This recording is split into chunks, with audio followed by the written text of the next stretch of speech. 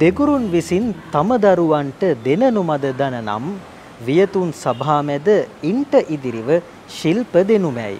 ලෝකෝපකාරයේන එම අර්ථපූර්ණ රසභාවයත් ඔබේ විඤ්ඥාණයට එකතු කරමින් අදත් මේ අරමෙන්නේ ඔබේ වින්දනීය අවකාශය පුළුල් කරන විසිරි.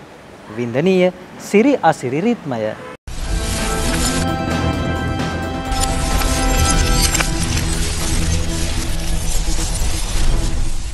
සංචාරකයන්ගේ මතයට අනුව නවතම ලොව පුදුමහතක් පෙළගස්වල තියෙනවා. විසිරි ආරම්භයේදීම ඒ පිළිබඳව තොරතුරු ඔබට ගෙනෙන්න හිතුවා. පැරණි ලෝකයේ පුදුමහත දෙදස් හත වර්ශවේදී මහජන මතය අනුව නව පුදුමහත ලෙසින් අලුත් ස්ථානයන් සහිතව ඉදිරිපත් කරුණේ. ඉන්න අනතුරුව සූරිච්චේ පේටි පුදුමහත තේරීමේ ප්‍රධාන කාර්යාලය මහජන මතය විමසූ අතර. පසුගේදා මිනිසුන් තේරුම් නව පුදුමහතේ නිල නොලත් ලේඛනය සමාජකත කෙරෙනි. එයට අනුව එම නව පුදුමහතේ පළමුුවන්න වියට්නාමේ හැලෝන් බොක්කයි. එය කිලෝමිටර එක්දහස් පන්සිය තිස් තුනක වපසරියක වීදී ඇති විසිතුරු දසුන් මවන ගුහා රැසකින්ද සමන්විත වෙයි.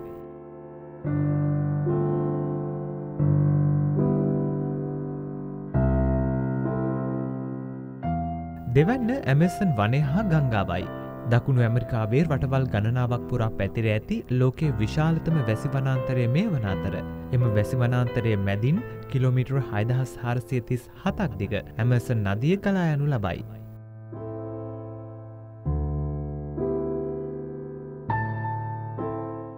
තෙවන්න දකුණු අප්‍රිකාවේ කේප්ටවන්හි පිහිට ඇති ටේබල් මවන්ටන් කඳු වැටියයි. සිව්වැන්න උතුරු කොරියාවේ ජේජු දූපත වෙයි. වර්ග කිලෝමීටර ඉදහ සටසේ හත්තලිස් නවයක භූමි ප්‍රමාණයක් පුරා පැතිර තිබෙන. ජේජු දූපත අලංකාර දියඇලි තුනකින් මෙන්ම යමහල් කිහිපයකින්ද සමන්විත වෙයි. හලසෑන් ජාතික වනෝද්‍යානය දූපතේ පිහිටා තිබෙයි. පස්වන්න බ්‍රසීලේ දකුණුදිග කලාපයටත් ආජෙන්ටිනාවේ මිඩියන්ස් පලාතටත් අයත් ඉගුවාසූ දියඇල්ල වෙයි. ඉගුවාසු ගංගාව මගින් මෙම ඇල්ල නිර්මාණය වන අතර මීටර දෙදස් හත්සියක පලලින් යුතු ලොකුකුඩා දියඇලි දෙසිය හැත්තෑවකින් සමන්විත දියඇලි සංකීර්ණයකි.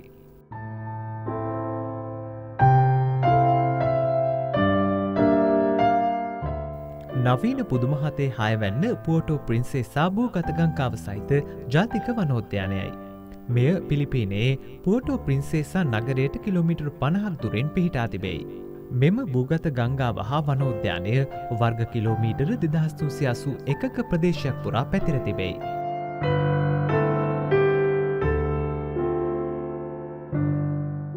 නිල නොලත් නවීන පුදුමහතේ හත්වැන්න බාලි දිවෙන්නට නාවික සතපුම් දෙසියක් ඔපෙන් පිහිටි මෙම කොමඩෝ දූපත කොමඩෝ මකරුන් නිසා ලෝපුරා ජනප්‍රිය වී තිබෙයි.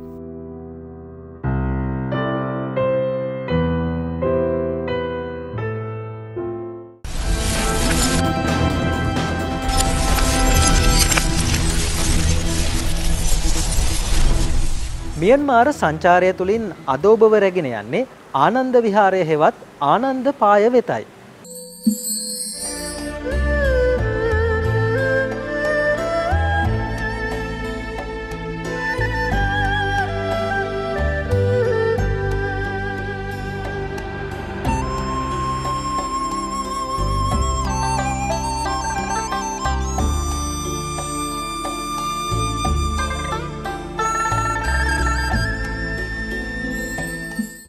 සදහැති පින්නතුනී බෞද්ධ නාලිකාවේ මේ මියන්මාර් මහාසෑ වන්දනා පින්කමට සමගාමීව පුණ්‍ය භූමි ගණනාවක් අප වන්දනාමාන කරනවා. ඒ අතරේ අප බගාන් ප්‍රදේශයේ ආනන්ද පාය නම් වූ ඒ චෛත්‍ය වන්දනාමාන කරගන්නට නොයසේ නම් මේ පුදබිම වන්දනාමාන කරගන්නට පූජනීය දරණාගම කුසල ධම්මනායක ස්වාමින් වහන්සේ ඇතුළු ගෞරවනීය මහා සංඝරත්නයත් අනිකුත් සදැහැති පිරිසත් මේ වන විට එම ස්ථානයට ගමන් කරන ආකාරය ඔබ දකින්නේ.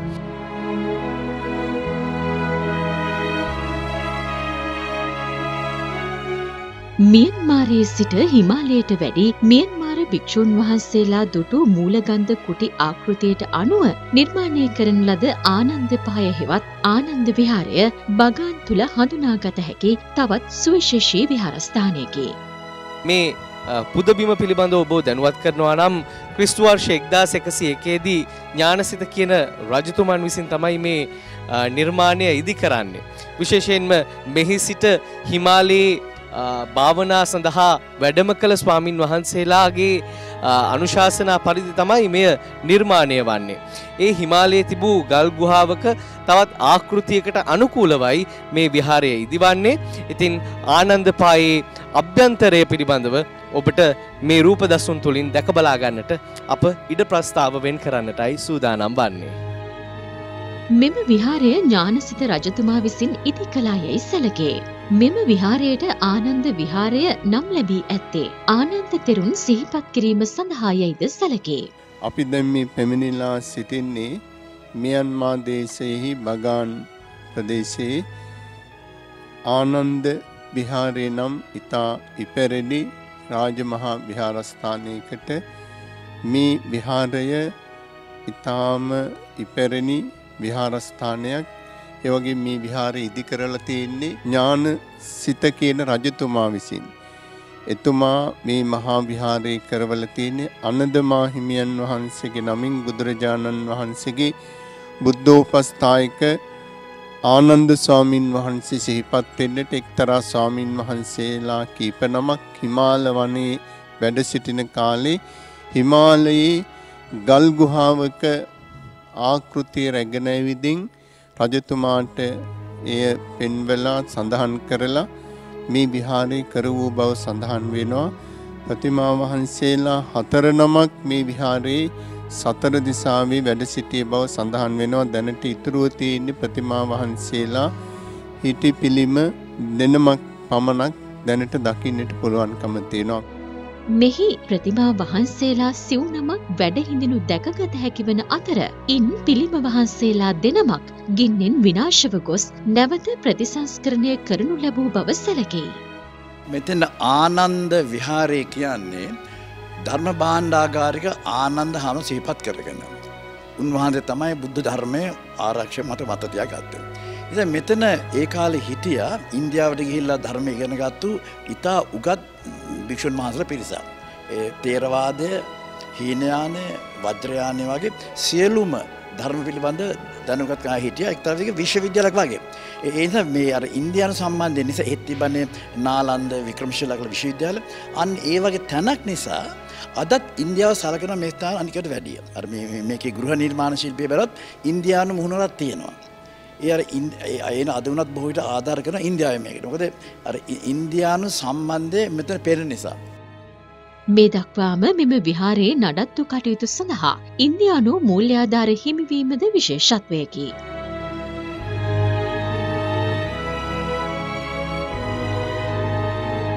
විහාරගේ පිටත පවා අලංකාර කැටියම් හා මූර්ති දැකගත හැකිවීමත් මෙහි ඇති තවත් ලක්ෂණයකි.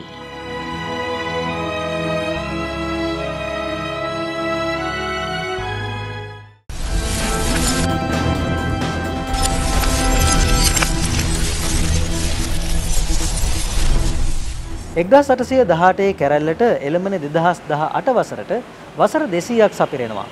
එක්දස් අටසය දහටේ කැරැල්ල කියන්නේ සිංහලයන්ට පිහිසුනුවත් දැකීමක්. එක්දස් අටසි දහටේදී පමණක් නෙවෙයි ඊට එපිටිනුත් ඊට මෙපිටිනුත් විදේශ ජාතීන් මෙරට ස්වදේශිකයන් ක්‍රූරන්දමින් මරා දමනු ලැබුවා. ඒ අතීත සංහාරයේ දෝංකාරය සිංහල සංගේදම මගින් සිතුවම් දැක්මක් ලෙසින් ජනගත කරනවා.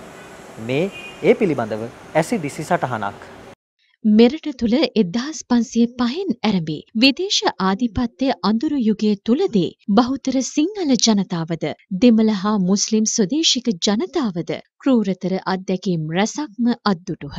එම මෙරට ජනතාව අත්විඳි අමානුෂික වදබන්ධනයන්හි අත්දැකීම් විස්සක් උපයෝගී කොටගෙන නෙත් සිත් මනස් ආමන්ත්‍රණය කිරීමේ සිතුවම් දැක්මක් සංවිධානය කොට තිබෙයි. සිංහල සංගේදම නිර්මාණකාරයක් වන එම අපූරු ව්‍යායාමේ පූර්ව දෘශ්‍ය මාත්‍රයක් සොයා පසුගියදා විසිරි කණ්ඩායමේ අපි ගියමු.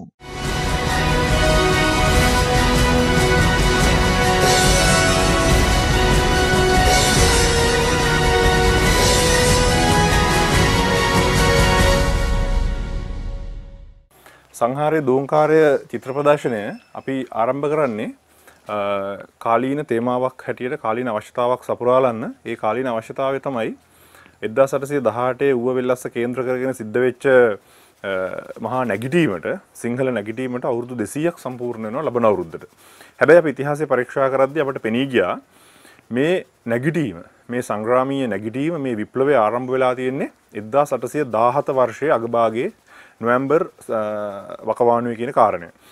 ඒ අනුව අපි මොකද කරේ අපි කල්පනා කරා විවිධ ක්‍රමවේද මේක වර්තමානයට මේ අරගලය නැත්තම් මේ සිද්ධ වෙච්ච මහා දැවැන්ත ජන සංහාරය ලෝක ඉතිහාසයේ සිද්ධ වෙලා තියෙන ජන සංහාරත් එක්ක එක පෙළට තියලා කතා බහ කරන මේ ජන සංහාරය ගැන සාකච්ඡා කරන්න අපි කුමක් කළ යුතුද කියන කාරණය පිළිබඳව අපි සිංහල සංගීතම හැටියට අපි සාකච්ඡා කළා. ඒදී අපිට පෙනී ගිය කාරණය තමයි චිත්‍ර මාධ්‍යය වඩා සුදුසුයි මේ කාරණය වර්තමානයට කැඳවාගෙන එන්නට.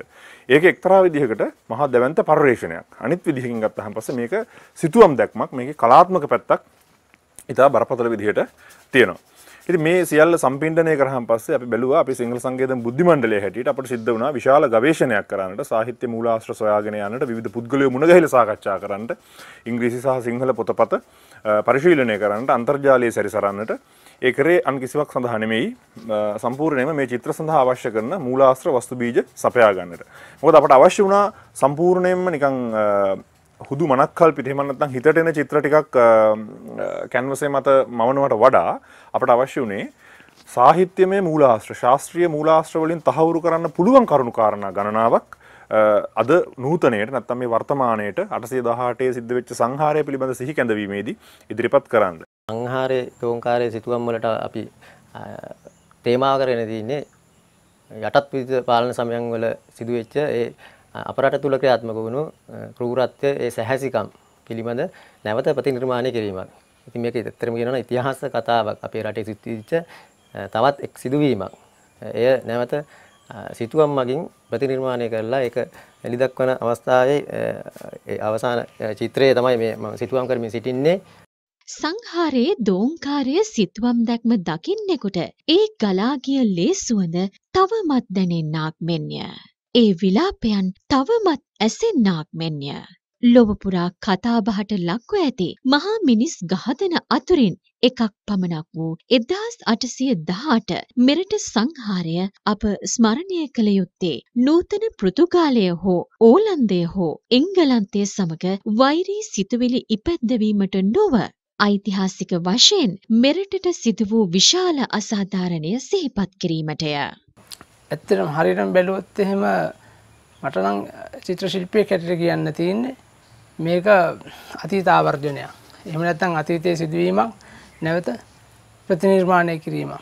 එහිදී ඒ අතීතයේ වෙච්ච සෑම සිදුවීමකම තියෙන ඒ හදගැස්ම, ඒ වේදනාව අපි බලනවා පුළුවන් තරම් සිතුවමින් දෙන්න. ඒ වේදනාව අපි ගත්ත ඒ වේදනාව අපේ සිතින් විඳ වේදනාව අපේ ප්‍රේක්ෂකයා රසිකයා ඒක ලබා ගන්නව නම් ඒක තමයි මම හිතන්නේ මේ චිත්‍ර ප්‍රදර්ශනයේ ලොකුම අරමුණ වෙන්නේ. සිංහල සංගේදම සංහාරය දෝංකාරයේ චිත්‍ර ප්‍රදර්ශනය වර්තමානයට කැඳවාගෙන එන්නේ නැත්නම් මේ සිතුවම් පෙළහර ඉදිරිපත් කරන්නේ ඉතාමත්ම කාලීන අවශ්‍යතාවක් ඉෂ්ට සිද්ධ කරමින්. අපි ඉතා වගකීමෙන් සඳහන් කරනවා අප බලාපොරොත්තු වන්නේ මේ සිතුවම් පෙළහැරෙන් මෙබඳු මර්ධනකාරී මෙබඳු පීඩාකාරී වාතාවරණයක් තුළ සිට පවා ජාතිය යළිත් ගොඩනංවාගෙන යළිත් අභීත අදීන ජාතියක් බවට පත්වන්නට සිංහලයාත් සිංහල බෞද්ධයාත් සමත් වූ බව ලෝකයට හඬගා කියන්නට ලංකාවට හඬගා කියන්නටම පමණයි. අප තුළ කිසිසේත්ම අප බලාපොරොත්තු වන්නේ නෑ නූතන බ්‍රිතාන්‍යයට පෘතුගාලයට හෝ ඕලන්දයට චෝදනාවක් එල්ල කරන්නට. එය අතීතයට ඇත් සිදුවීමක් වුණත් ඒ අතීතයේ මතක තබා ගැනීමේ වැදගත්කම අප මෙහිදී අවධාරණය කරනවා. ඉතින් මේ සිතුවම් ප්‍රදර්ශනය මෙම මස විසි පස්වන සෙනසුරාදා විසිහය වන ඉරිදාසා විසිහත් වන සඳුදා කොළඹ තුම්මුල්ල ශ්‍රී සම්බුද්ධත්ව ජයන්ති මන්දිරයේ තුන්වන මහලේදී මහජන ප්‍රදර්ශනය සඳහා විවෘත වනවා අපි තාමත්ම ගෞරවයෙන් මෙරටේ ගෞරවනීය සංඝයා වහන්සේට ඒ වගේම සිසු මහ ජනතාවට ඉතාමත්ම ගෞරවයෙන් ආරාධනා කරනවා මේ සිතුවම් දැක්ම දැක බලා ගන්නට මෙහි ජීවමාන සාක්ෂිකරුවෙකු වන්නටයි කියා. ඒ වගේම මේ කටයුත්ත සඳහා අපට බෙහෙවින් මාධ්‍ය අනුග්‍රහය ලබා දෙමින් විශාල දායකත්වයක් සපයන බෞද්ධ මාධ්‍ය ජාලයට විශේෂයෙන්ම අති පූජ්‍ය දරණාගම කුසලදම්ම නායක මාහිමිපාණන් වහන්සේ රටක් ජාතියත් සම්බුදු ශාසනයත් වෙනුවෙන් උන්වහන්සේ කරගෙන යන අපරිමිත මෙහෙයි එක්තරා කොටසක් හැටියට මේ සඳහා ලබා දෙන මේ අනුග්‍රහය අපි විශේෂයෙන්ම ගෞරවපූර්වකව පාදාවි වන්දනයෙන් යුක්තව සිහිපත් කරනවා බෞද්ධ මාධ්‍ය ජාලයට අපගේ කෘතඥ පූර්වක ස්තුතිය අපි නිරන්තරයෙන්ම පුද කර සිටිනවා.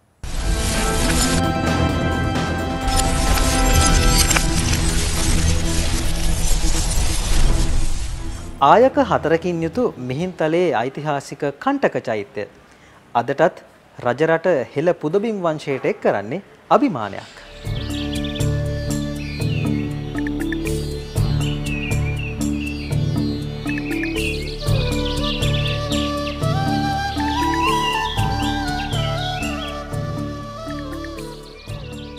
මිහින්තලේ අට සැටලෙන් පිහිටි කඳු ශිඛරයේම නැගෙනහිර දෙසින් කණ්ටක චෛත්‍ය හඳුනාගත හැකිවෙයි. එම චෛත්‍යද අට සැටලෙන් කරවා පූජා කරන ලද අවදිහෙම ට ඇතැයි සැලකෙයි. ඒ අනුව කණ්ටක චෛත්‍ය දේවානම්පිය තිස්ස රජුගේ කාලයට අයත්තියයි සැලකෙයි. ලජ්ජතිස්ස රජතුමා මෙම පැරණි චෛත්‍ය විශාල කරන ලද බව සැලකෙයි. ඒ අනුව මෙම චෛත්‍ය ලංකාවේ ගොඩනැගූ පැරණි චෛත්‍ය අතුරින් එකක් ලෙස සැලකෙයි. මෙම චෛත්‍ය ආශ්‍රිතව ආයක හතරක් හඳුනාගත හැකිවෙයි. ඉන් නැගෙනහිර ආයකය අද දවසේදීද හොඳ තත්ත්වයෙන් දැකගත හැකිවෙයි. මෙම ආයක හතරෙහි උතුරු ආයකයෙහි සිංහරූපයද දකුණු ආයකයෙහි ගවරූපයද නැගෙනහිර ආයකයෙහි ඇත්රූපයද බටහිර ආයකයෙහි අශ්වරූපයද නිර්මාණය කර ඇත. නැගෙනහිර ආයකයෙහි කල්ප වෘක්ෂය නිරූපිත කුළුණු උඩ ඇත්රූපය නිර්මාණය කර තිබෙයි. එමෙන්ම මෙම ආයකවල ස්තම්භවල සැවුල්රූප සිංහරූප මානවරූප ඇත්රූප නාගරූප අඩංගු කල්පලතාව සහ කල්ප වෘක්ෂය නිර්මාණය කර ඇත. මේවා නිර්මාණය කර ඇත්තේ ස්පටික හුණුගල්වලය.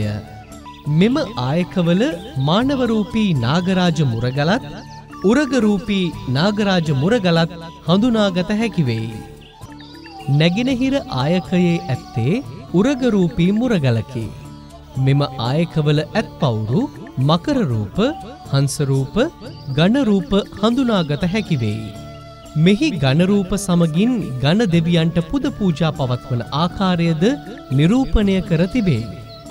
එමෙන්ම දිසාපාලක දේවරූපද මෙම ආයක මත්තෙහි බදාමයෙන් නිර්මාණය කර තිබේ. ලංකාවේ පැරණි අර්ධ උන්නත සැරසිලි මෝස්තරද මෙම චෛත්‍යයේ දැකගත හැකිවෙයි. පුරාණයේ චෛත්‍යයන්හි බුද්ධ සංකේතයන් සඳහා යොදාගත් යූපස්තම්බයද චෛත්‍ය ආසන්නේ හඳුනාගත හැකිවෙයි. චෛත්‍ය මුදුනේ යූපස්තම්භය සිරස් ආකාරයට තබා ඇත. යූපස්තම්භයට ඉහලින් චත්‍රයක් තිබී ඇත. පසුකාලයේදී මෙම යූපස්තම්භය දේවතා කොටුව බවටත් චත්‍රය කොත් කැරැල්ල බවටත් පත් වී ඇත. කණ්ටක චෛත්‍යයට බටහිර දෙසින් සෙල්ලිපියක් හඳුනාගත හැකිවේ. මෙම සෙල්ලිපියෙන් කණ්ටක චෛත්‍යයට කළ පූජාවන් පිළිබඳව සඳහන් වෙයි. එමෙන්ම මෙම කණ්ටක චෛත්‍ය ආශ්‍රිතව හමුවන සෙල්ලිපි අතර රාජකයන් කිහිප දෙනෙකුගේ සෙල්ලිපිද හමුවන බව ඉන්ස්ක්‍රපෂන් of සිලෝන් හි සඳහන් වෙයි. ඒ අනුව උත්තිය කුමරුගේ සෙල්ලිපියක්ද එතුමාගේ දියනිය වූ සෝමාදේවියගේ සෙල්ලිපියක්ද දූපත් පාලකගේ එනම් යාපනය අර්ධද්වීපය පාලනය කළ තැනත්තාගේ දියනිය වන මහබි කුමරියගේ සෙල්ලිපියක්ද මෙම කණ්ඨක චෛත්‍යය ආශ්‍රිතව හමුවෙයි.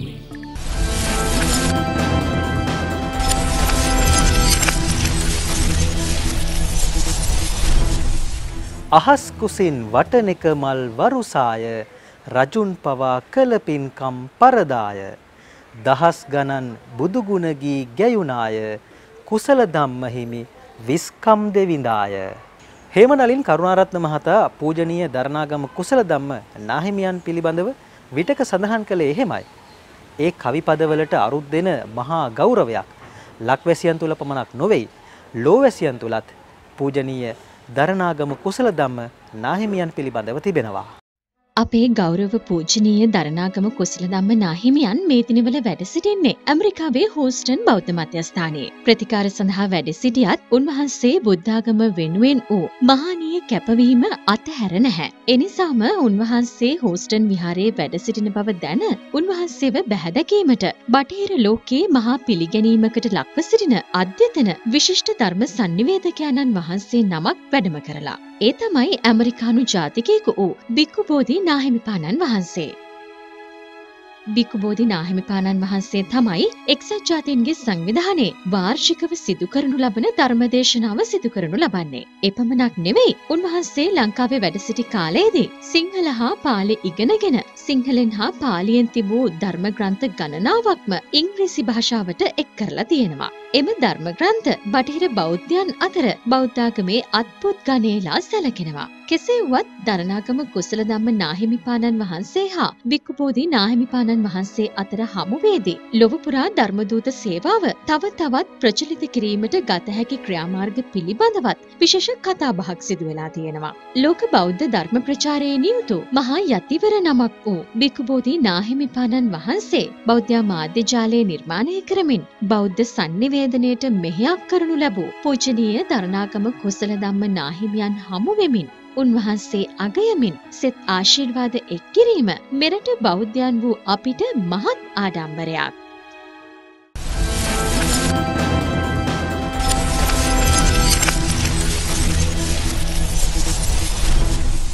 හිත තියෙනවා නම් ලෝකේ කරන්න බැරි දෙයක් නැහැ.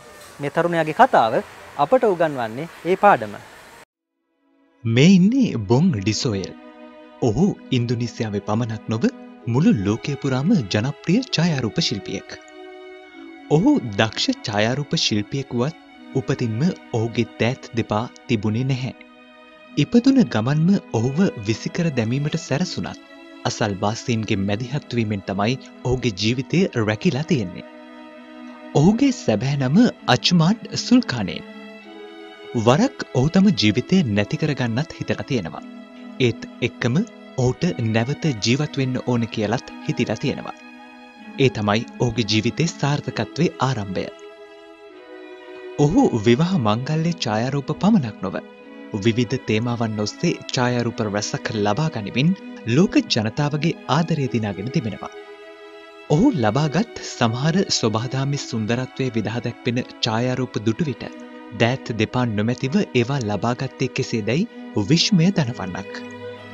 මේ ඔහුගේ එවන් වූ අපූරු ඡායාරූප.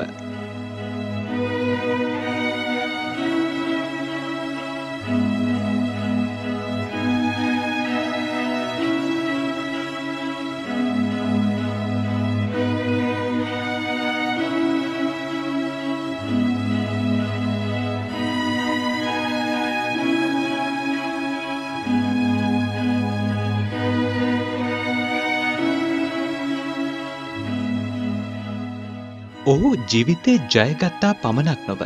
ඔහු ජීවිතයේ ජීවත් වන්නේත් ඔහුගේම විදියටම වීම විශේෂත්වයක්. පියානෝ වාදනයටත් දක්ෂතාවයක් දක්වන අච්මාට් අද දවස්සේ වෙහෙසෙනවේ නීතිඥයෙකු වීමටයි. දෑත් දෙපා නැතිව ලෝකයේ ජයගත් අච්මාට් දෑත් දෙපා ඇති අපි හැමෝටම හොඳ ආදර්ශයක්.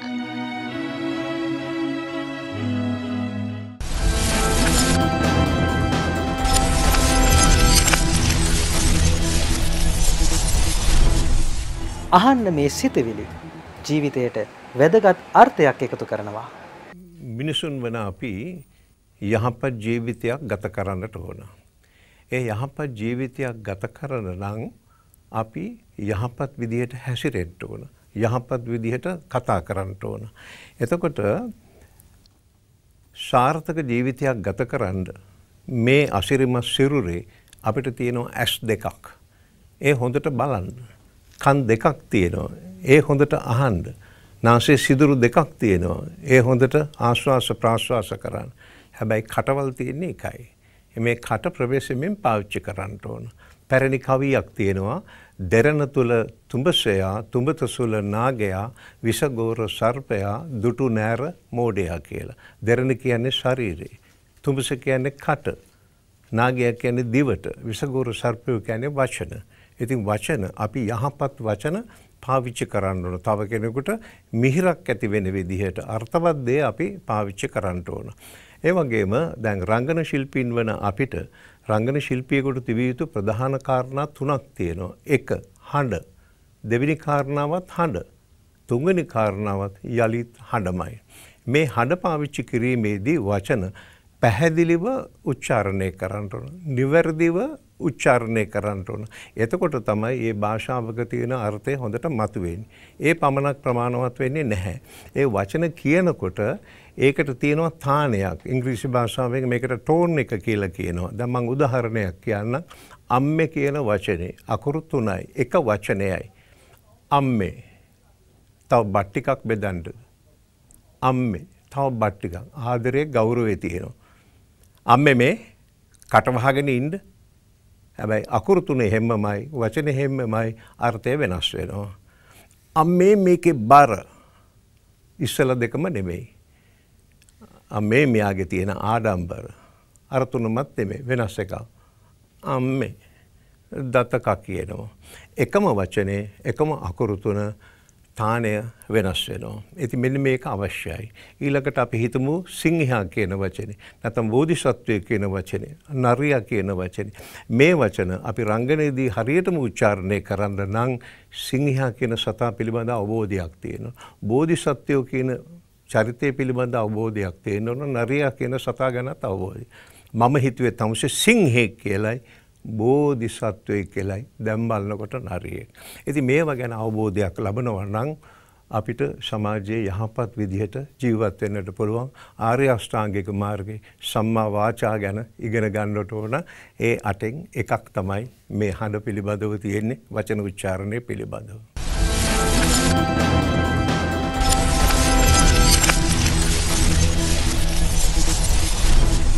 වින්දනය අතික්‍රමණය කළ අඩපයක් නොදැනීම ගත වුණා. එනිසා අදට විසිරි තුලින් සමුගෙන යන්න වෙනවා. ලබන සතිය හමුවනතුරු ඔබට සුබ සතියක්.